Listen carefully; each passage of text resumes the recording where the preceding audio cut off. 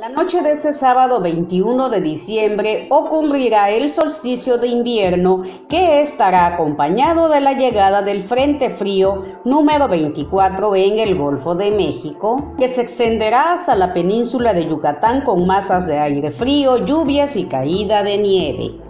El frente frío provocará rachas que superarán los 80 kilómetros por hora y oleaje de 2 a 4 metros en el istmo y el golfo de Tehuantepec y el litoral de Veracruz, donde se reactivó la alerta gris por bajas temperaturas.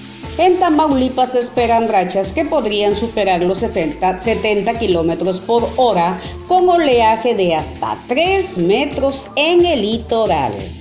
La corriente de chondro que cruzará el país favorecerá la caída de nieve o agua-nieve en zonas altas de Durango, Zacatecas y San Luis Potosí, así como la presencia de heladas en las primeras horas del día en estado del noreste que también tendrán bancos de niebla que se extenderán hasta el sureste del país. Además esperan lluvias muy fuertes en Veracruz, Oaxaca y Tabasco, al igual que en Chiapas, Yucatán y Quintana Roo.